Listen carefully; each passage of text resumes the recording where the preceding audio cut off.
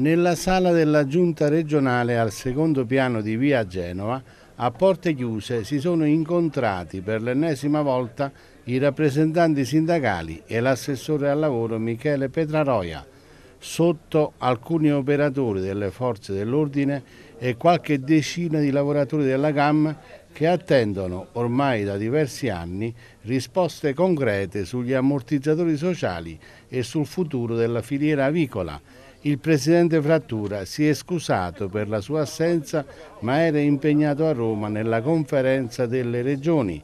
Intanto l'azienda continua a macellare polli a ritmi ridottissimi, due giorni a settimana.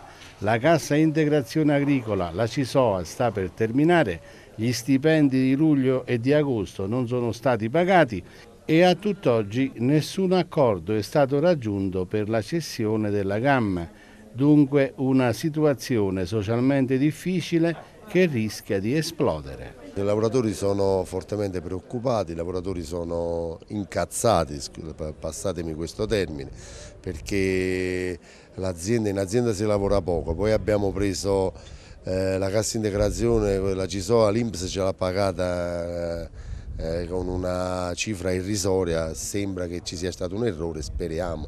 Quindi alla fine il lavoratore percepisce tra le poche giornate di lavoro e quella eh, cassa integrazione così minima non arriva nemmeno a, a metà dello, dello stipendio di prima. Quindi sono fortemente preoccupati e fortemente arrabbiati. Noi abbiamo oggi delle richieste ben precise. La prima, il futuro. Vogliamo capire qual è il nostro futuro. La seconda è quello dell'inquadramento che è molto importante, noi l'inquadramento ci teniamo tanto perché adesso è quasi terminata anche la CISO, io penso che non so se ci arriveremo a fine settembre, quindi siamo molto preoccupati per capire cosa ci aspetta dopo settembre. Ieri avete incontrato anche il liquidatore Tacchilei che è venuto fuori.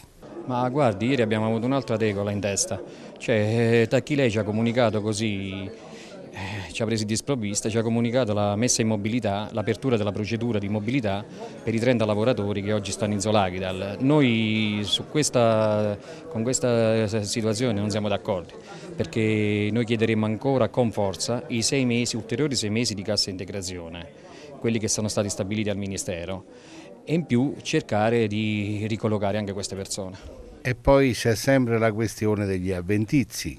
Eh, questo è un altro punto dolente, I, ci sono quasi 300 avventizi che giravano intorno alla Solagdal, quindi noi dovremmo trovare degli ammortizzatori sociali in deroga e se non ci sono dovremmo trovare degli ammortizzatori eh, a sostegno al reddito di questi lavoratori.